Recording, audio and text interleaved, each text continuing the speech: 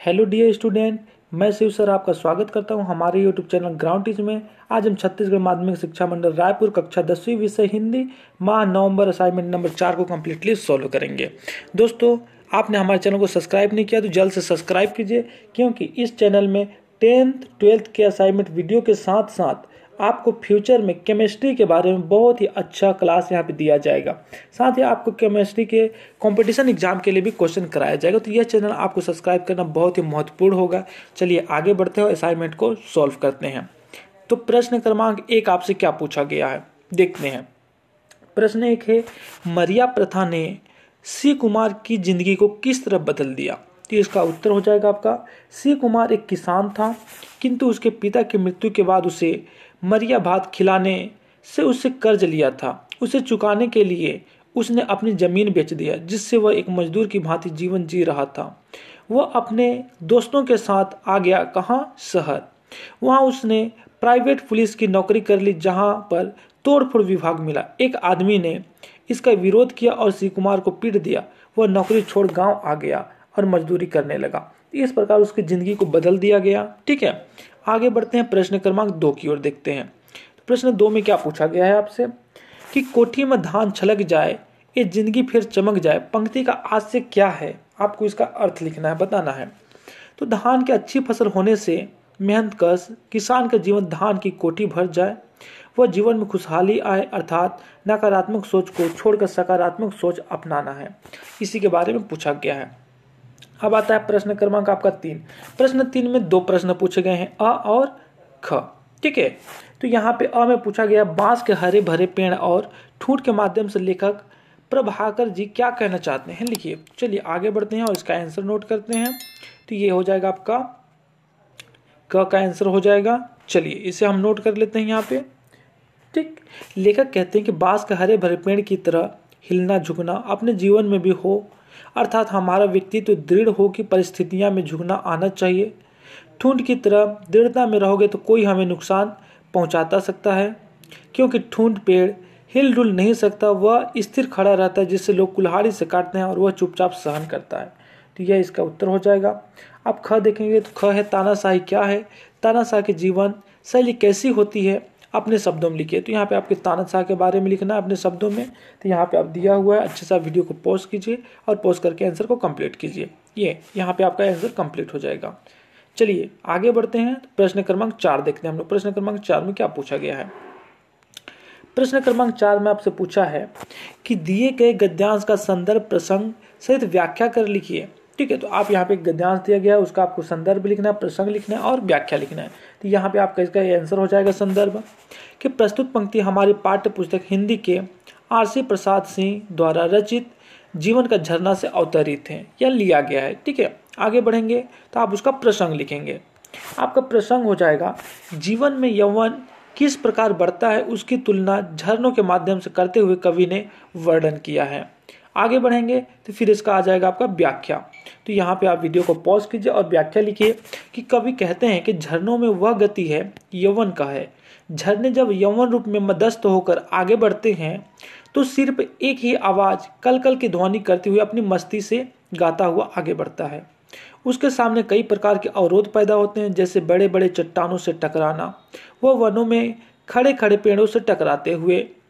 वह अपने यौवन के साथ मदमस्त होकर अपने पद पर अग्रसर रहता है उसी प्रकार हमारे सामने भी कई बाधाएँ, रुकावटें आने पर भी निराश नहीं होना चाहिए हमें और उनसे लड़ते हुए हमें आगे क्रम से बढ़ते रहना चाहिए।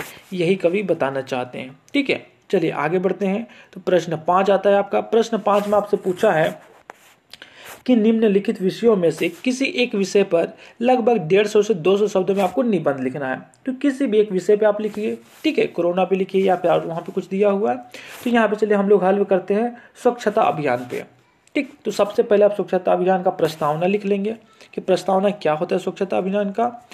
तो स्वच्छता, स्वच्छ भारत अभियान या स्वच्छ भारत कैंपेन भारत सरकार द्वारा चलाया जा रहा एक सफ़ाई अभियान है, जो कि भारत के प्रधानमंत्री नरेंद्र मोदी जी द्वारा महात्मा गांधी की 145 जन्म दिवस पर उनके स्वच्छ भारत के सपने को साकार करने के लिए शुरू किया गया था।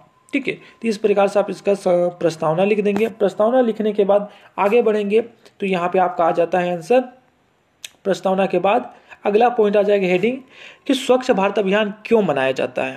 प्रस्तावना के बाद आपको कारण लिखना है कि यह क्यों मनाया जाता है। तो इसका कारण आप यहाँ पे बहुत अच्छे से लिख सकते हैं। वीडियो को बस पॉज कीजिए और कारण लिख लीजिए। छोटा छोटा लिखिए, सटीक लिखिए, बहुत अच्छा होगा। अगला है, स्वच्छ भारत अभियान का असर क्या रहा?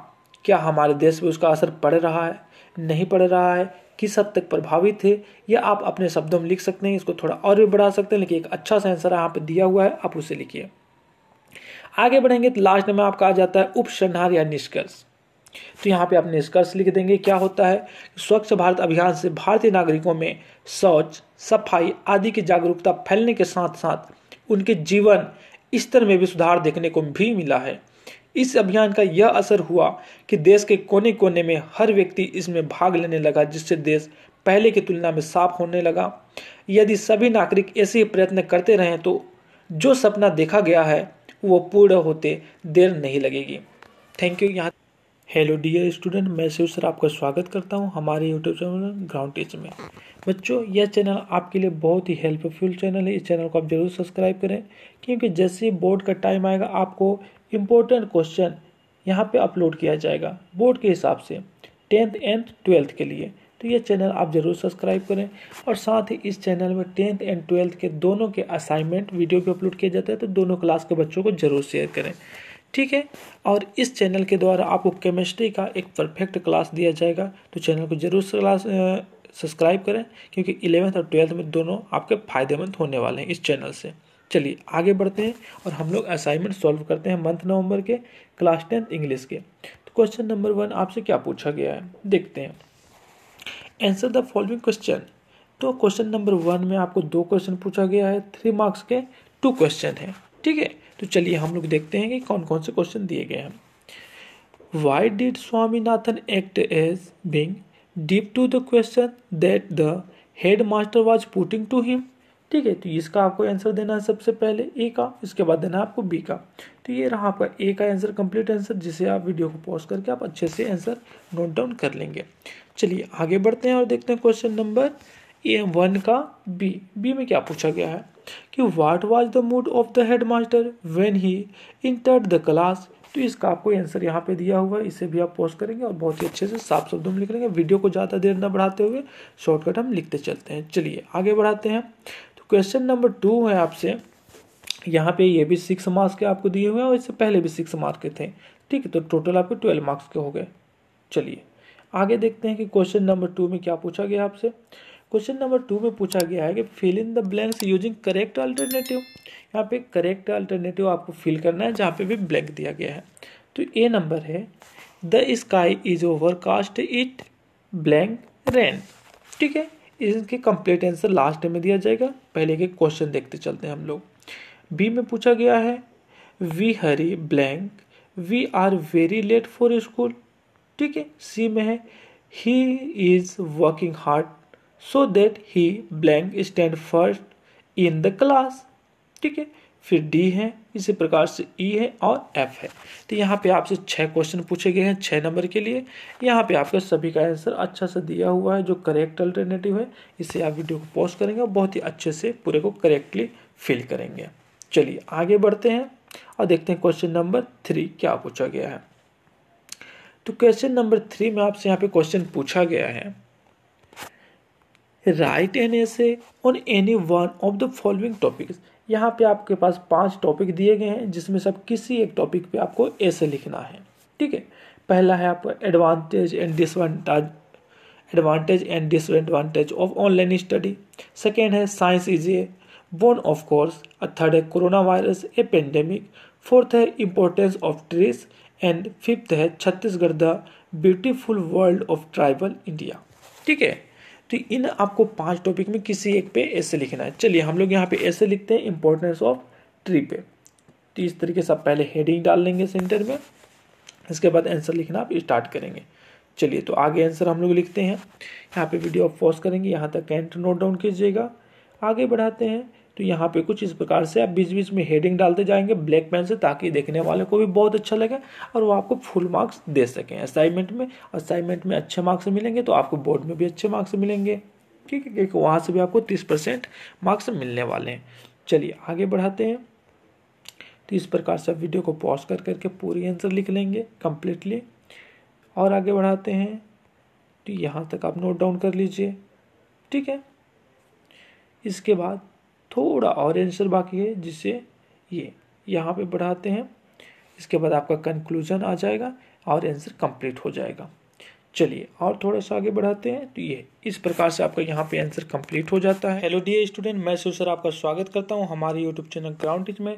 बच्चों, आज हम कक्षा दसवीं विषय विज्ञान माह नवंबर का असाइनमेंट सॉल्व करेंगे। साथ ही इस चैनल को आप ज़रूर सब्सक्राइब करें, क्योंकि सब्सक्राइब आप करेंगे।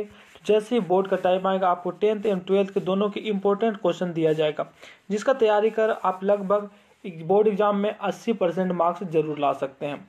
तो इस चैनल को ज़रूर सब्सक्राइब करें। चलिए, देखते हैं आगे क्वेश्चन नंबर वन क्या दिया हुआ है। तो क्वेश्चन नंबर वन में आपसे पूछा है, खाने का सोडा, कपड़ा धोने का सोडा प्लास्टर ऑफ़ पेरिस और व्यंजक चूड़, ये चार चीज़ें पूछी गई है, लेकिन इसके बारे में आपको क्या लिखना है? रासायनिक सूत्र और रासायनिक नाम लिखना है। तो चलिए हम लोग एक एक करके बारी बारी से लिखते हैं। सबसे पहले उत्तर अ नंबर डाल देंगे। अब मैं क्या पूछा खाने का सोडा। तो खाने का सोडा का रासायनिक नाम होता है सोडियम बाइकार्बोनेट और सूत्र होता है N H C O three इसी प्रकार ब नंबर। ब में है कपड़ा धोने का सोडा। इसका सूत्र होता है N A two C O three और रासायनिक नाम होता है सोडियम कार्बोनेट। इसी प्रकार से हम लोग स की ओर बढ़ते हैं। तो स है आपका प्लास्टर ऑफ़ पेरिस ठीक है? क्या है आपका?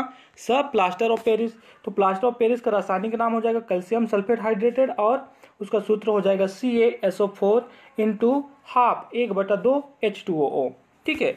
इस प्रकार लास्ट में आपका विरंजक चूड़ा विरंजक चूड़ा का रासायनिक नाम हो जाएगा कैल्शियम ऑक्सीक्लोराइड और सूत्र हो जाएगा सी ए ओ सी एल टू तो इस प्रकार से आपका प्रश्न एक कंप्लीट होता है। आगे बढ़ते हैं प्रश्न क्रमांक दो की ओर। प्रश्न दो में आपसे क्या पूछा है कि मिसेल का निर्माण किस प्रकार होता है? समझाइए, आपको इसकी पूरी प्रक्रिया को समझाना है। तो देखिए, इसका आपका आंसर हो जाएगा कि जब कपड़े को साबुन के घोल में डुबाया जाता है तो साबुन का ऋण आयन अर्थात तेल, मैल के चारों ओर गोलीय आकार में इस प्रकार की व्यवस्थित हो जाते हैं। कैसा? यहाँ, आगे आपका आंसर दिया हुआ है, हो जाता है। कि हाइड्रोकार्बन श्रृंखला वाला सिरा पूछ अंदर की ओर तथा सी ओ ओ माइनस वाला सिरा बाहर की ओर कांटों की तरह निकला रहता है। इस प्रकार साबुन के अणु मिसेल का निर्माण करते हैं। जैसे यहाँ पे देखिए आपको। ये रहा, ये पूरा एक गोली संरचना बना हुआ है। ठीक है, इस प्रकार से आपका संरचना बन जाता है। सेंटर में आपको तेल या मैल दिख रहा है, बाहर में आपको एन दिख रहा है। दिख रहा है कि नहीं? इस प्रकार से आपका मिसेल का निर्माण होता है। इस डायग्राम को आप बना लेंगे। चलिए आगे बढ़ते हैं। प्रश्न क्रमांक तीन की ओर। प्रश्न क्रमांक तीन में आपसे क्या पूछा है कि धमनी एवं सिरा में कोई चार अंतर आपको लिखना है। इस प्रकार से आप यहाँ पे अंतर लिख लेंगे कि एक डब्बा बना लेंगे, पहले एक साइड सिरा लिख लेंगे, एक साइड धमनी लिख देंगे। इस प्रकार से हो जाएगा। अब एक नंबरिंग डालेंगे क्रम संख्या और इस प्रकार से चार अंतर आप लिख लेंगे। ठीक है? चार अंतर की जगह में आप एक अंतर बढ़ा देंगे, पाँच अंतर लिख लेंगे, पाँच छः तो आपको फुल मार्क्स मिल जाएगा। चलिए आगे बढ़ते हैं। और देखते हैं प्रश्न क्रमांक चार की ओर क्या पूछा गया है। तो प्रश्न चार में आपसे पूछा है, मानव के उत्सर्जन तंत्र। ठीक है, क्या है? मानव के उत्सर्जन तंत्र का आपको नामांकित चित्र बनाना है। उसका चित्र भी बनाना है और साथ में उसके नाम भी लिखना है। तो यहाँ पे आपको उत्सर्जन तंत्र दिया हुआ है। आराम से एकदम वीडियो को रोक करके आप इस तरीके से बनाएँगे यहाँ तक आप बना लेंगे तो थोड़ा सा नीचे आपका बचेगा उसको आप फिर से बना लेंगे। या आपके बुक में दिया हुआ उत्सर्जन तंत्र वहाँ से आप, आप अच्छा सा बना सकते हैं। चलिए इसको आगे बढ़ाते हैं। तो इस प्रकार से आपका यहाँ तक आ जाएगा। ये कंप्लीट कर लेंगे अपना आंसर पूरी तरीके से मानव का उत्सर्जन तंत्र का ये चित्र हो जाएगा। ठीक है ये आपका कंप्लीट हो गया। चलिए आगे बढ़ते हैं। आगे देखते हैं ब नंबर ब नंबर में क्या पूछा गया आपसे? कि पेस मेकर यंत्र किस कार्य हेतु प्रयोग किया जाता है? तो आपका आंसर हो जाएगा कि दिल की धड़कन को नियंत्रित रखने के लिए पेस मेकर का उपयोग किया जाता है। ठीक है, यह एक चिकित्सीय उपकरण होता है जो दिल की मांसपेशियों से संपर्क करने के लिए इलेक्ट्रोड द्वारा प्रदत्त विद्युत आवेगों का उपयोग करता है। दिल, अर्थात हृदय के मूल पेसमेकर का पर्याप्त तेज़ी से काम नहीं करने या फिर दिल की विद्युत चालन प्रणाली में अवरोध आ जाने की वजह से पेसमेकर का प्राथमिक प्रयोजन के रूप में किया जाता है। तो ये इसका आंसर हो जाएगा। आगे बढ़ते हैं। आगे बढ़ते हैं तो प्रश्न पाँच आ जाएगा। प्रश्न पाँच क्या है आपका? क्वेश्चन पूछा गया है। प्रश्न पाँच में आपका पूछा गया है कि किसी पारिस्थितिक तंत्र में ऊर्जा प्रवाह कैसे होता है? किसी भी पारिस्थितिक तंत्र में ऊर्जा का प्रवाह किस प्रकार से होता है, यह आपको बताना है। अपने शब्दों में आपको बताना है। तो इसका उत्तर आपका हो जाएगा कि प्राणी जीवन की विभिन्न जैव क्रियाओं के संचालन के लिए ऊर्जा अति आवश्यकता होती है। हमारी पृथ्वी पर ऊर्जा का एकमात्र स्रोत सूर्य का प्रकाश है। तो सूर्य का प्रकाश किरणों के रूप में वायुमंडल से गुजरते हुए पृथ्वी पर आता है। अब सूर्य के विकिरण लगभग 20 प्रतिशत भाग वायुमंडल द्वारा अवशोषित कर लिया जाता है एवं 50 प्रतिशत उष्मा के रूप में पृथ्वी के धरातल द्वारा अवशोषित कर लिया जाता है और बचा शेष 30 प्रतिशत प्रकाश को धरती की वायु में उपस्थित धूल के कण एवं आकाश मौजूद बादल परावर्तित कर देते हैं। तो इस प्रकार से आपका हंड्रेड परसेंट हो जाता है प्रकाश, ठीक है? अब ये हंड्रेड परसेंट जो प्रकाश हो गया, ये कहाँ कहाँ जाते हैं? तो विभिन्न पारिस्थितिक तंत्रों में संचालित खाद्य श्रृंखलाओं में भोजन एक पोषक स्तर से दूसरे पोषक स्तर पर स्थानांतरित होता है। और दूसरे शब्दों में, भोजन के माध्यम से ऊर्जा का अभिगमन विभिन्न पोष स्तरों में खाद्य श्रृंखला के द्वारा संचालित होती है। तो पारिस्थितिक तंत्र में ऊर्जा के प्रवाह को ऊर्जा गतिकी के सिद्धांत के आधार पर समझा जाता है। जैसे आप यहाँ पे देखोगे कि जो हरे पेड़ पौधे होते हैं, वो प्रकाश लिए, ठीक है, और पृथ्वी से पानी लिए और अपना भोजन बना लिए। उस हरे पेड़ पौधे, घास फूस को कुछ जानवर खाते हैं। उस जानवर को उससे बड़े जानवर खाते हैं। इस प्रकार क्या होता है? ऊर्जा एक श्रृंखला में चलते रहता है, प्राकृतिक पारिस्थितिक तंत्रों में चलता है। तो इस प्रकार से आपका यहाँ पे असाइनमेंट कंप्लीट होता है। हेलो डियर स्टूडेंट मैं शिव सर आपका स्वागत करता हूँ हमारे यूट्यूब चैनल ग्राउंड टीच में। बच्चों, यदि आपने अभी तक हमारे चैनल को सब्सक्राइब नहीं किया तो जल्द से सब्सक्राइब कर लीजिए और बेल आइकन को दबा दीजिए। क्योंकि इस चैनल में जल्द ही आपके लिए टेंथ और ट्वेल्थ के दोनों क्लास के बोर्ड एग्ज़ाम के लिए इंपॉर्टेंट क्वेश्चन अपलोड किया जाएगा, जिससे आप तैयारी करके अच्छे मार्क्स एग्ज़ाम में ला सकते हैं। एट्टी परसेंट तो ला ही सकते हैं, इतना कंफर्म है। तो चलिए, देर ना करते हुए हम आगे बढ़ते हैं और माह नवंबर के कक्षा दसवीं गणित का असाइनमेंट को सॉल्व करते हैं। साथ ही आप यदि बाकी सब्जेक्ट के अभी तक असाइनमेंट नहीं लिखे होंगे तो इस वीडियो के डिस्क्रिप्शन में चले जाइए, या हमारे चैनल के प्लेलिस्ट में चले जाइए। वहाँ पे आपके पूरे सब्जेक्ट के वीडियो के आंसर मिल जाएँगे। चलिए आगे बढ़ते हैं और देखते हैं प्रश्न एक में क्या पूछा गया है आपसे। प्रश्न एक, सबसे पहले आपसे पूछा गया है कि ए बी सी एक त्रिभुज है जिसमें ए डी भुजा बी सी पर लंब है। तो सिद्ध कीजिए कि A B square plus C D square equal to B D square plus A C square यह आपको सिद्ध करना है। जब ए डी क्या हो भुजा बी सी पर लंब हो। ठीक है? तो आप यहाँ पे सबसे पहले उत्तर में लिख देंगे। दिया है ए डी लंब है किस पे? बी सी पे। इस प्रकार से आप लिख देंगे। ठीक है? ए डी क्या है? ये देखिए आपका ए डी है लंब। किस पे है? बी सी पे लंब है। तो ये हो जाएगा आपका। अब आप आगे लिखेंगे कि सिद्ध करना है। क्या सिद्ध करना जो आपको प्रश्न में पूछा गया है, वह आप यहाँ पे लिख देंगे कि सिद्ध करना है। ठीक है? तो इस प्रकार से आप लिख देंगे। अब आगे बढ़ते हैं। तो आप लिखेंगे त्रिभुज, ठीक है? त्रिभुज क्या हो जाएगा आपका? ए डी बी में। ए डी बी में ए बी का स्क्वायर बराबर बी डी का स्क्वायर प्लस ए डी का स्क्वायर पाइथागोरस प्रमेय से। चलिए यहाँ पे देख लेते हैं त्रिभुज में। देखिए ए डी बी तो यहाँ से आपका ए हो गया ए डी हो गया ए बी यहाँ पे, ठीक है? तो ए बी का स्क्वायर ये कर्ण का स्क्वायर हो जाएगा, बराबर क्या है आपका? बी डी का स्क्वायर तो ये बी डी का स्क्वायर हो जाएगा, उसके बाद ए डी का स्क्वायर तो ये आपका ए डी का स्क्वायर हो जाएगा। ये होता है आपका किससे? पाइथागोरस प्रमेय इसे आप लिख देंगे। समीकरण नंबर एक, इसी प्रकार, क्या हो जाएगा? इसी प्रकार आपका त्रिभुज ए डी सी में तो ए डी ये हो गया आपका और ये सी हो गया। ठीक है, इसमें ए सी का स्क्वायर ये आपका कर्ण हो जाएगा। बराबर ए डी का स्क्वायर ये आपका लंब हो गया प्लस क्या हो जाएगा? सी डी का स्क्वायर ये आपका आधार हो जाएगा। यह भी आपका किससे होगा? पाइथागोरस प्रमेय से इसे आप समीकरण नंबर दो देंगे। तो इस प्रकार से आप लिख लेंगे। आगे आप लिखेंगे कि समीकरण एक में समीकरण दो को घटाने पर। समीकरण एक में समीकरण दो को घटाने पर तो सबसे पहले आप समीकरण एक लिख दीजिए, फिर समीकरण दो लिख दीजिए, फिर नीचे आप माइनस का सीन लगा दीजिए। अब जब माइनस करेंगे आप तो देखिए जो पहले ए सी स्क्वायर प्लस का था वो माइनस का बन जाएगा यहाँ पे। इसी प्रकार ए डी जो प्लस का था ये भी माइनस का बन जाएगा और सी डी जो प्लस का था ये भी माइनस का बन जाएगा। तो यहाँ पे टोटल क्या हो जाएगा आपका? ए बी का स्क्वायर आपका प्लस हो जाएगा। उसके बाद माइनस हो जाएगा आपका ए सी का स्क्वायर हो जाएगा यहाँ से। ठीक है? इसी प्रकार यहाँ पे हो जाएगा आपका बी डी का स्क्वायर माइनस क्या हो जाएगा आपका? यहाँ पे देखिए A D square A D square plus और माइनस है तो ये दोनों कट जाएगा। कैसे कटेगा, एक बार फिर से दिखा देता हूँ। ये, आपका ए डी का स्क्वायर ये माइनस है और यहाँ पे ए डी स्क्वायर प्लस है। तो ये आपस में दोनों कट जाएँगे तो बचा क्या आपका? बी डी का स्क्वायर और सी डी का स्क्वायर तो इसको हम यहाँ पे लिख देंगे, ठीक है? चलिए, आगे देखते हैं। जब उनको लिख देंगे तो यहाँ पे आपका लास्ट में बचता है। क्या बचा है कि? ए बी का स्क्वायर माइनस ए सी का स्क्वायर बराबर बी डी का स्क्वायर माइनस सी डी का स्क्वायर अब यहाँ पे आप माइनस वाले पद को यदि पक्षांतर कर लेंगे ये ए सी जब माइनस इधर आएगा तो इधर में प्लस में हो जाएगा, ये सी डी जब इधर जाएगा तो इधर प्लस में हो जाएगा।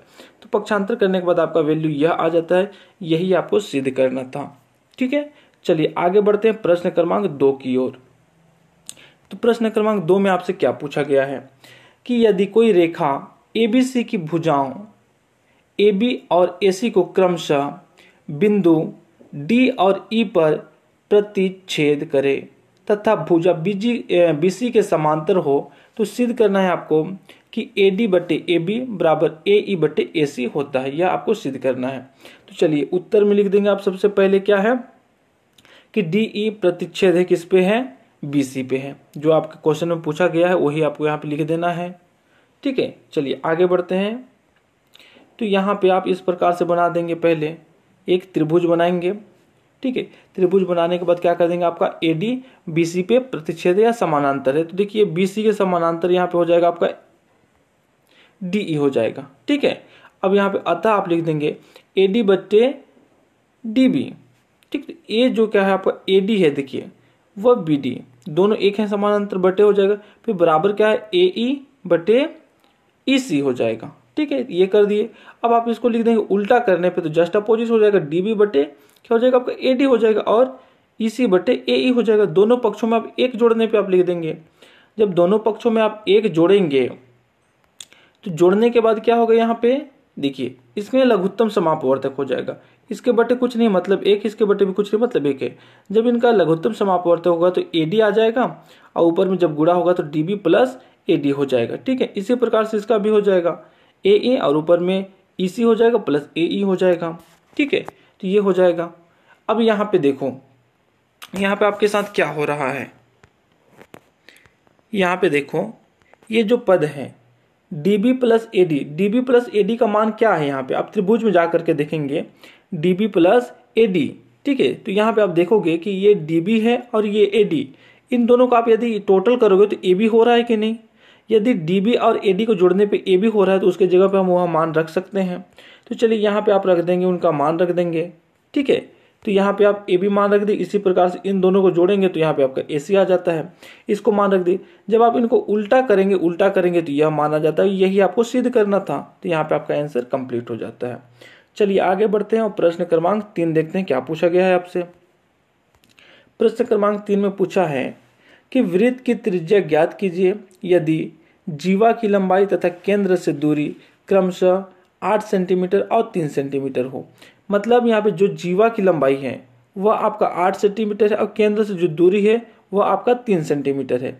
यह मान करके आपको रचना करना है। चलिए आगे बढ़ते हैं और इस रचना को करते हैं। तो सबसे पहले आप उत्तर में लिख देंगे रचना। रचना लिखने के बाद लिख देंगे आप कि बिंदु ओ को बिंदु ए तथा बी से मिलाया गया। ठीक है तो एक पहले आप वृत्त बना लीजिए इस प्रकार से आपका एक वृत्त हो जाएगा, फिर सेंटर पॉइंट आपका हो जाएगा ओ हो जाएगा ये। अब वो को ए से और बी से मिला दीजिए, ठीक है? तो मिलाने के बाद यहाँ पे जो बोला है कि यहाँ पे तीन सेंटीमीटर लंब है जो दूरी है, और ए बी के बीच की दूरी आठ सेंटीमीटर इसे आप लिख लेंगे, ठीक है? तो यहाँ पे आप इस तरीके से लिख लेंगे। लिखने के बाद यहाँ पे बनाएँगे आप त्रिभुज ओ डी ए में, जो आपको डायग्राम में दिख रहा है। देखिए, इसको इस प्रकार से आप एक त्रिभुज बना देंगे, बीच में यहाँ पे डी हो जाएगा ओ डी ए में। ठीक है? ओ डी ए में क्या हो जाएगा आपका? पाइथागोरस प्रमेय से ओ ए का स्क्वायर बराबर ओ डी का स्क्वायर प्लस ए डी का स्क्वायर अब ओ डी का मान है यहाँ पे तीन और ए डी का मान है आठ। यहाँ पे देखो ए से बी तक की मान पूरा आठ है तो आधा क्या होगा? चार ही होगा ना? तो चार के स्क्वायर कर देंगे। तो इस प्रकार से नौ प्लस सोलह हो जाएगा। दोनों को जोड़ेंगे तो पच्चीस हो जाएगा। और जब सामने से स्क्वायर ए स्क्वायर को हटाएँगे ओ ए बराबर तो ये अंडर रूट में आ जाएगा और अंडर रूट से बाहर निकालेंगे तो पाँच सेंटीमीटर हो जाएगा। यही आपको ज्ञात करना था आंसर हो जाएगा। चलिए आगे बढ़ते हैं। प्रश्न क्रमांक चार की ओर। प्रश्न क्रमांक चार में क्या पूछा गया है? तो प्रश्न क्रमांक चार में पूछा है आपसे कि सिद्ध कीजिए कि चक्रीय चतुर्भुज के सम्मुख कोणों का योगफल 180 होता है। यदि ये कि ये चतुर्भुज कोण हो, ठीक है, इसको आप दो भागों में डिवाइड कर लो। तो बराबर आधा आधा जो कोण होते हैं, उनको यदि डिवाइड करोगे तो उनका योग क्या हो जाएगा? आपका 180 होता है। यह बोल रहा है। तो चलिए आगे बढ़ते हैं और देखते हैं यहाँ पे क्या होगा आंसर इसका। आप उत्तर में सबसे पहले लिख लेंगे कि ए बी सी डी एक चक्रीय चतुर्भुज है। सिद्ध करना क्या है आपको? A plus A C is equal to क्या है आपका? सॉरी ये क्या हो जाएगा? कोण ए कोण ए प्लस कोण सी बराबर कोण बी प्लस कोण डी बराबर क्या हो जाएगा आपका 180 यह आपको सिद्ध करना है। आप यहाँ पे रचना लिखेंगे, रचना। ओ को बिंदु ए तथा सी से मिलाया मैंने, ठीक है, ऐसा लिख देंगे तो यहाँ पे आपका सेंटर में ओ हो जाएगा, उसको ए और सी से मिला देंगे, इस प्रकार से एक वृत्त बना लेंगे। उत्पत्ति आप लिख देंगे कि कोण ए ओ सी ए ओ सी से, इस प्रकार से, ठीक है। तो बराबर क्या है हुआ टू ए डी सी के बराबर है। यह जो ए डी सी है, या टू ए डी सी के बराबर है वह। यह आपका समीकरण नंबर एक हो जाएगा। नीचे लिखेंगे अब आप चाप ए बी सी के केंद्र पर बना कोण। तो ए बी सी के जो केंद्र पे है, वहाँ पे जो कोण बनता है, उसके बारे में आप लिखेंगे। ठीक? तो इस प्रकार से आपका यहाँ पे आंसर हो जाएगा। देखिए, इस प्रकार से आप नोट कर लेंगे। नोट करेंगे, इनको सॉल्व करेंगे इस प्रकार से आपका आ जाएगा। तीन सौ साठ बटे दो बराबर कोण डी प्लस कोण बी हो जाएगा। ठीक है? जब इसे सॉल्व करेंगे आगे तो चतुर्भुज में इन मानों को रख देंगे। जब चतुर्भुज में इन मानों को रख देंगे तो कोण आपका सी डी बराबर भी 180 हो जाएगा और ए सी बराबर भी आपका 180 हो जाएगा। ठीक है तो इस प्रकार से 180 मान आ जाएगा और इन मानों को जब जोड़ते हैं तो हमारा यहाँ पे फाइनल आंसर आ जाता है। आराम से वीडियो रोक करके देखेंगे तो आपको पूरा आंसर मिलेगा। क्या हो जाएगा? कोण ए प्लस कोण सी बराबर होता है आपका क्या? कोण बी और कोण डी ये दोनों एक दूसरे के बराबर होते हैं। और इनका मान हो जाएगा आपका 180 होता है। तो इस प्रकार से आपका प्रश्न चार कंप्लीट होता है। आगे बढ़ते हैं प्रश्न क्रमांक पाँच की ओर। प्रश्न क्रमांक पाँच देखते हैं क्या पूछा गया है। तो पूछा है कि त्रिभुज ए बी सी के परिगत वृत्त की रचना कीजिए, जिसमें ए बी बराबर आठ सेंटीमीटर बी सी बराबर पाँच सेंटीमीटर और बी बराबर साठ डिग्री है। रचना के पद भी लिखिए। तो एक आपको पहले त्रिभुज बनाना है। त्रिभुज के अंदर में आपको एक वृत्त बनाना है। ठीक है, पहले क्या करेंगे, इस तरीके से आप त्रिभुज बनाएँगे, त्रिभुज के अंदर में वृत्त बनाएँगे और वहाँ पे आप बनाएँगे, लिखेंगे। चलिए, आगे हम लोग रचना करते हैं। उत्तर में आप लिखेंगे सबसे पहले, रचना के पद। पहला होगा रेखा। बीसी को पाँच सेंटीमीटर बनाइए। एक आप बीसी जो भी खींचेंगे, वो पाँच सेंटीमीटर का बनाएँगे। फिर बिंदु बी से सात डिग्री के चाप पर आठ सेंटीमीटर बिंदु ए तक बनाए। अब यहाँ से आपको कुछ खींचना है, रखिए। वो क्या होगा? आठ सेंटीमीटर का होगा। ए तक बना दीजिए। यहाँ पे ए हो जाएगा। इस तरीके से। अब कोण ए बी सी और कोण बी सी ए के कोण समद्विभाजक खींचें, जिस बिंदु पर काटे उसे बिंदु ओ बनाए ठीक है? अब यहाँ पे आप दोनों तरीके से काटेंगे तो काटने पे जो मिलता है उसे आप बिंदु ओ बना लेंगे, जैसे यहाँ पे दिया हुआ है। देखिए, ये पहले त्रिभुज बनाए, ठीक है? अब यहाँ से ये जो काट रहा है, इनको हम लोग ओ मान ले रहे हैं। ये बिंदु क्या है? आपका ओ है। इस प्रकार से आप लिख लेंगे और चौथा पॉइंट आपका हो जाएगा कि बिंदु ओ को केंद्र मानते हुए वृत्त की रचना की है तो इस प्रकार से आपका ए आंसर कंप्लीट हो जाएगा। यहाँ तक हेलो डी स्टूडेंट मैं शिव सर आपका स्वागत करता हूँ हमारे यूट्यूब चैनल ग्राउंड टीच में। बच्चों चैनल को यदि सब्सक्राइब नहीं किया तो जल्द से सब्सक्राइब कर दो, क्योंकि यह चैनल आपके लिए बहुत ही इंपॉर्टेंस होने वाला है। क्योंकि जल्द ही इसमें टेंथ एंड ट्वेल्थ दोनों कक्षाओं के बोर्ड एग्ज़ाम के इंपॉर्टेंट क्वेश्चन अपलोड किए जाएँगे, जिसका तैयारी कर आप लगभग 80 परसेंट ला सकते हैं। यदि आप थोड़ा और एक्स्ट्रा मेहनत करेंगे तो पचासी से नब्बे परसेंट आपका कंफर्म है, निश्चित है गारंटी देता हूँ। तो चलिए देर न करते हुए हम लोग असाइनमेंट की ओर बढ़ते हैं और यदि आपने दूसरे सब्जेक्ट के अभी तक असाइनमेंट नहीं नोट किए हैं तो इस वीडियो के डिस्क्रिप्शन में चले जाइए। वहाँ आपके पूरे वीडियो के लिंक मिल जाएँगे। प्ले लिस्ट में चले जाइए, वहाँ पे आपको पूरे वीडियो मिल जाएँगे और असाइनमेंट लिख सकते हैं। तो बढ़ते हैं, देखते हैं प्रश्न क्रमांक एक में क्या पूछा गया है। प्रश्न क्रमांक एक में पूछा गया है आपसे कि परिवार, लघु एवं वरम, अस्मति पाठे, प्रयुक्त सुक्ति द्वम, लिखित्वा हिंदी भाषा त्रिशत त्रिशत शब्देशु भावार्थ लिखित। तो यहाँ पे एक पाठ है आपका परिवार, लघु एवं वरम। ठीक है, ये जो पाठ है, इस पाठ से आपको दो सुक्ति लिखना है और उस सुक्ति का भावार्थ लिखना है। ठीक है, क्या लिखना है? भावार्थ लिखना है। कितने में? तीस तीस शब्दों में आपको लिखना है। दो दो नंबर के होंगे, दोनों चार नंबर के। तो सबसे पहले उत्तर क्रमांक आप डाल करके पहला सुक्ति लिख देंगे। ठीक है, सुक्ति क्या हो गया आपका? था बहुली भवंती। ठीक है, ये पहला सुक्ति हो जाएगा। अब आप इसका भावार्थ लिख देंगे, इसका अर्थ लिख देंगे।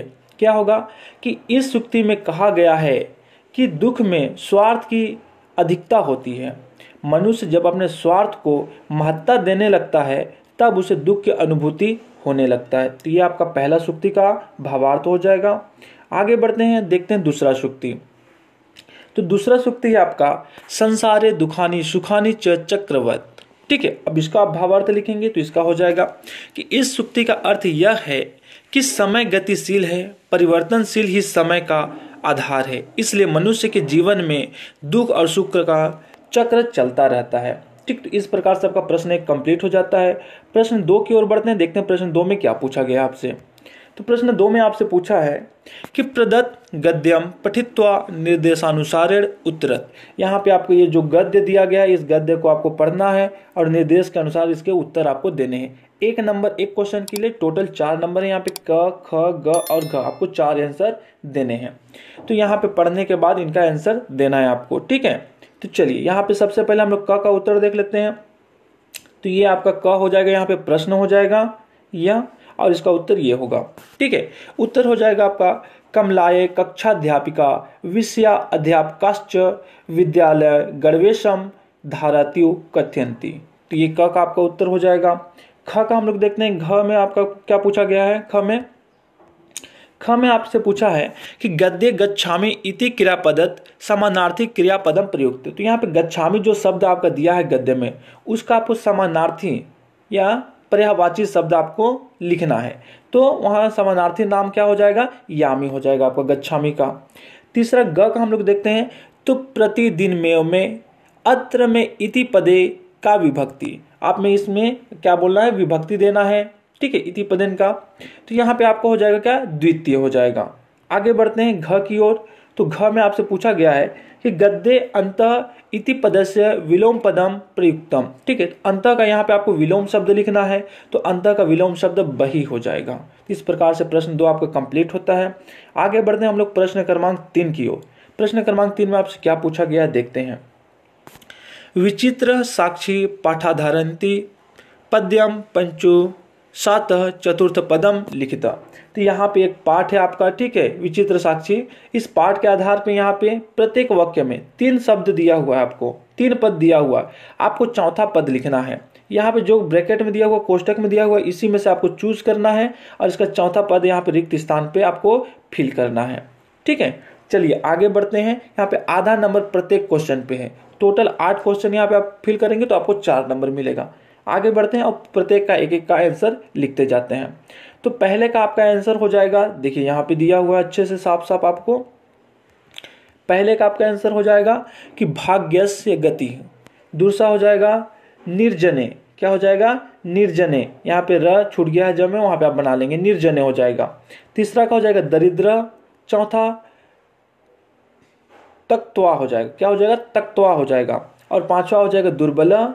छठा होगा निकिया, ठीक है, और सातवां हो जाएगा अबुद्ध और आठवां होगा आपका कल्याणकारी। इस प्रकार से आपके पूरे आठों के उत्तर हो जाएँगे। यहाँ पे आप क्या करेंगे? पहले इन तीनों पदों को लिखेंगे। ठीक है, यहाँ पे जो तीन पद दिए हैं, तीन पदों को लिखेंगे। इसके बाद कॉमर डाल करके यहाँ पे अपना चौथा पद लिखेंगे। तो यहाँ पे आपका आंसर कंप्लीट होगा। पूरे में इसी प्रकार से करेंगे। तीन पद लिखने के बाद चौथा पद आप लिखेंगे। चलिए, आगे बढ़ते हैं प्रश्न क्रमांक चार की ओर। चार में देखते हैं क्या पूछा गया है आपसे। तो प्रश्न चार में आपसे पूछा गया है कि जननायक सुभाष चंद्र विषय संस्कृत भाषायाम षोडश वाक्य निबंध लिखिता। तो जो जननायक है हमारे, सुभाष चंद्र बोस, इनके विषय पे आपको संस्कृत भाषा में सोलह वाक्य में आपको निबंध लिखना है। कितने वाक्य में? सोलह वाक्य में आपको निबंध लिखना है। तो चलिए आंसर स्टार्ट करते हैं, उत्तर लिखते हैं हम लोग एक एक वाक्य।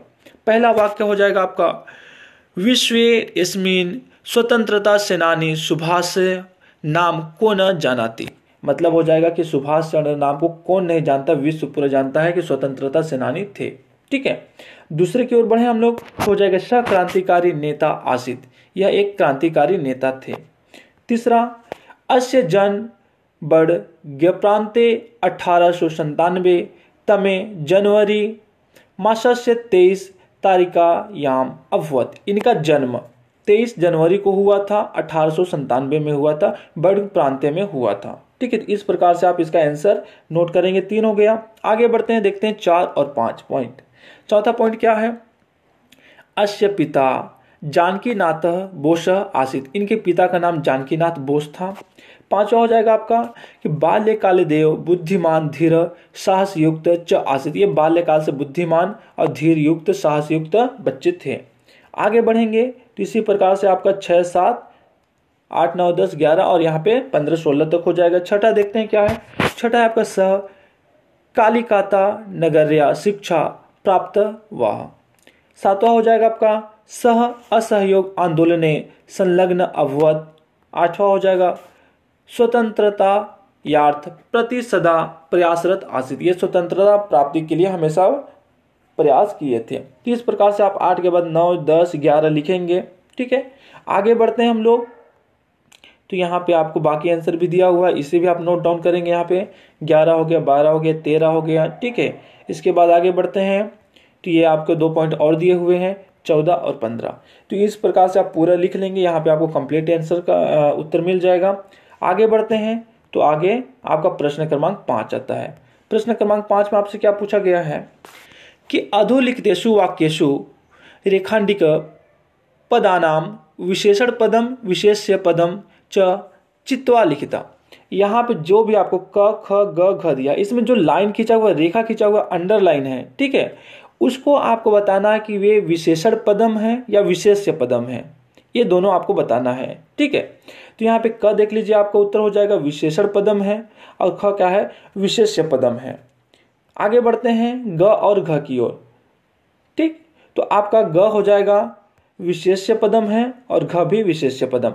मतलब सॉरी विशेषण पदम।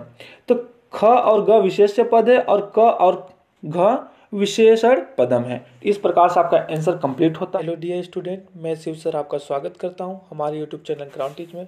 बच्चों, यदि आपने अभी तक हमारे चैनल को सब्सक्राइब नहीं किया तो जल्द से सब्सक्राइब कर लीजिए और बेल आइकन को दबा दीजिए, क्योंकि टेंथ एवं ट्वेल्थ के इंपॉर्टेंट क्वेश्चन बोर्ड एग्ज़ाम के लिए इंपॉर्टेंट क्वेश्चन जल्द इस चैनल में अपलोड किया जाएगा, जिसका तैयारी करके आप लगभग 80 परसेंट ज़रूर ला सकते हैं। और थोड़ा और मेहनत करेंगे तो आपका पचासी से 90 परसेंट ले आएँगे। तो चलिए देर न करते हुए हम लोग आगे बढ़ते हैं और असाइनमेंट सॉल्व करते हैं। चलिए आगे बढ़ते हैं। तो सामाजिक विज्ञान का पहला प्रश्न आपका पूछा गया है कि आयकर और उत्पादक शुल्क में क्या अंतर है? ठीक है तो सबसे पहले हम लोग देखते हैं आयकर क्या होता है, उसके बाद उत्पादक शुल्क में क्या है, क्या होता है, उसके बारे में हम लोग देखेंगे तो दोनों का आपको यहाँ पे अंतर मिल जाएगा। सबसे पहले हम लोग आयकर के बारे में देखते हैं। तो आयकर व्यक्ति की निजी आय पर लगाया जाता है। आय के कई स्रोत हो सकते हैं, जैसे वेतन, भत्ते और पेंशन। इसके अलावा कोई व्यक्ति बैंक में रखी जमा राशि पर भी ब्याज अर्जित कर सकता है। अपनी किसी संपत्ति को किराए पर देकर भी यह आय प्राप्त कर सकता है। इन सभी आय पर व्यक्ति को आयकर देना होता है। आयकर एक निश्चित आय के अधिक आय की राशि पर देना होता है। आयकर कुल आय का एक निश्चित प्रतिशत होता है, जिनकी आय जितनी अधिक होती है, उतना ही अधिक आयकर का भुगतान करना होता है। इस प्रकार से आपका आयकर हो जाएगा। आयकर के बाद आपको उत्पादन शुल्क का लिखना है आंसर। तो उत्पादन शुल्क क्या होता है, देख लेते हैं हम। तो उत्पादन शुल्क कोई भी वस्तु उत्पादन या निर्माण के बाद बिक्री की एक पूरी श्रृंखला से गुजरती है। उत्पादन शुल्क किसी वस्तु के उत्पादन पर लगता है। उत्पादन शुल्क का भार उपभोक्ता के ऊपर डाल दिया जाता है, जिससे उपभोक्ता को उत्पादित की गई वस्तु के लिए अधिक शुल्क चुकाना पड़ता है। तो ये हो जाएगा आपका उत्पादन शुल्क। चलिए आगे बढ़ते हैं प्रश्न क्रमांक दो की ओर और देखते हैं प्रश्न दो में क्या पूछा गया है। प्रश्न दो है आपका उत्खनन से पूरे देशवासियों को लाभ हो, केवल कुछ निजी कंपनियों को नहीं, इसके लिए क्या किया जा सकता है? ठीक है, उत्खनन से सभी को लाभ हो तो इसके लिए क्या किया जा सकता है? तो पहला है, उत्खनन के संदर्भ में स्थानीय समाज को प्रारंभ से ही जागरूक किया जाना चाहिए। ध्यान रहे कि जानकारी का वितरण अंतिम व्यक्ति तक हो। ठीक है, दूसरा क्या हो जाएगा आपका? संपूर्ण कार्य को वैधता अत्यंत आवश्यक है। तीसरा हो जाएगा कि नियम कानून का पालन नहीं किए जाने की दशा में कठोर कार्यवाही हो। चौथा हो जाएगा आपका कि स्थानीय लोगों को सोसाइटी बनाकर तथा शिक्षित करके उत्पादन कार्य किया जाना चाहिए। तो इस प्रकार हो जाएगा। आगे और बढ़ते हैं। तो एक आध दो तीन नंबर आप और डाल देंगे तो आपको पूरे मार्क्स मिलेंगे। ठीक है? इसके साथ में पांचवा हो जाएगा, लाभ का वितरण स्पष्ट होना चाहिए। पांचवा के बाद छठा आता है आपका कि स्थानीय सोसाइटी को अधिक तकनीकी उपलब्ध करानी चाहिए। चलिए आगे बढ़ते हैं प्रश्न क्रमांक तीन की ओर। तो प्रश्न क्रमांक तीन में आपसे क्या पूछा गया है कि हिटलर की विदेश नीति को समझाइए। कि हिटलर की विदेश नीति क्या थी उसके बारे में आपको समझाना है। उत्तर हो जाएगा आपका कि 1933 की शुरुआत में हिटलर ने शांतिपूर्ण नीति अपनाने का आश्वासन दिया तथा उसका मुख्य लक्ष्य वर्साई संधि की अपमानजनक शर्तों को खत्म करना और जर्मनी के लिए समानता की स्थिति प्राप्त करना था। वह चाहता था कि किसी भी तरीके से जर्मनी 1919 में खोए क्षेत्रों को वापस मिला ले। 1933 में हिटलर की जर्मनी ने पुनः सशक्तिकरण की नीति अपनाई और धीरे धीरे हवाई जहाज़ों, टैंकों व पनडुब्बियों से लैस सशक्त सेना का निर्माण किया। सन 1935 में हिटलर ने वायुसेना एवं सेनाओं में अनिवार्य भर्ती जैसे घोषणा की, जो सीधे तौर पर वर्साई संधि की अवहेलना थी। 1935 में सार घाटी को जनमत संग्रहण द्वारा जर्मनी में मिला लिया गया। तो इस प्रकार से आपका हिटलर की विदेशी नीति थी, यह आपका आंसर हो जाएगा। ठीक है, थोड़ा सा पॉइंट आप और बचा है तो इसे भी आप नोट कर लेंगे। इस प्रकार से कंप्लीट आपका आंसर हो जाएगा। आगे बढ़ते हैं, प्रश्न क्रमांक चार की ओर। प्रश्न क्रमांक चार में क्या पूछा गया आपसे? प्रश्न चार है, सरकार के ऐसे कौन कौन से कार्य हैं जो गरीबों को काम करने से सीधे जुड़े जुड़े हुए हैं। ठीक है? तो इसका आपका उत्तर हो जाएगा कि लोगों की आजीविका को सुनिश्चित करने का दायित्व तो भी सरकार का ही है। सरकार द्वारा काम करने का अधिकार और महात्मा गांधी राष्ट्रीय ग्रामीण योजना या उसे जिसको बोलते हैं रोज़गार गारंटी कानून या मनरेगा बनाया गया। इस कानून के तहत सरकार की वह ज़िम्मेदारी तय की गई कि वह ग्रामीण इलाकों के प्रत्येक परिवार को साल में सौ दिन तक का कार्य उनकी मांग पर उपलब्ध कराएगी। यह कार्य लोगों को उनके इलाकों में ही उपलब्ध कराना होगा और इसके लिए होने वाला पूंजीगत खर्च तथा मजदूरी का भुगतान सरकार करेगी। स्थानीय स्तर पर रोज़गार उपलब्ध कराकर मनरेगा के तहत सामूहिक उपयोग से कई कार्यों जैसे चेक डैम, सड़कें, तालाब, वाटर और क्या हो जाएगा आपका? हार्वेस्टिंग संरचनाएँ आदि का निर्माण किया जा सकता है। इस प्रकार सरकार ने इन प्रमुख योजनाओं के द्वारा गरीबों को काम करने का अथक प्रयास दिया। ठीक है, गरीबों को कम करने का। कम नहीं, कम होगा आपका, ठीक है, काम नहीं होगा। तो इस प्रकार से गरीबी संख्या कम करने के लिए यह प्रयास था सरकार का। अब प्रश्न आगे हम लोग बढ़ते हैं पाँच के और प्रश्न में देखते हैं पाँच में क्या पूछा गया आपसे? तो प्रश्न पाँच आपसे पूछा है कि औद्योगिक प्रदेश अस्थिर क्यों होते हैं? एक बार एक जगह में उद्योग विकसित होने के बाद वहाँ के उद्योग क्यों हट जाते हैं? इसके आपको कारण लिखने हैं। तो पहले कारण हो जाएगा कि कच्चे माल की कमी हो जाता है। जब वहाँ पे माल की कमी हो जाएगी तो वहाँ पे उद्योग क्षेत्र क्यों रहेगा? ठीक है, जिसके कारण वहाँ से हट जाता है। दूसरा हो जाएगा उत्पादन लागत का बढ़ना।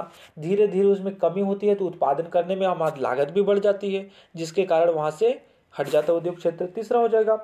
श्रमिक संगठनों की उचित, अनुचित मांगों के कारण यदि ज़्यादा दिन काम चलने लगता है तो वहाँ पे श्रमिक जो होते हैं, वो मांग भी करने लगते हैं, जिसके कारण वहाँ से हट जाता है। चौथा हो जाएगा, बाज़ार या विक्रय व्यवस्था के प्रभाव के कारण पांचवा हो जाएगा, लाभ में कमी।